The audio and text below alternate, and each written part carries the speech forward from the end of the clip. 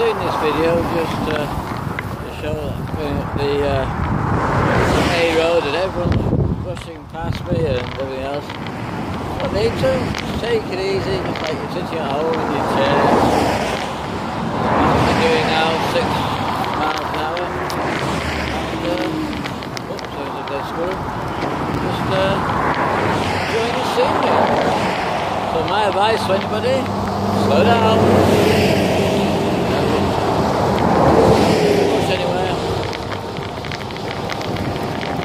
Enjoy the ride.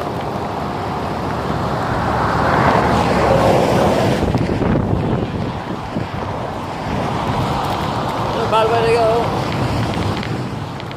Gear, get a bit more speed up. 6.6 miles an hour. Okay.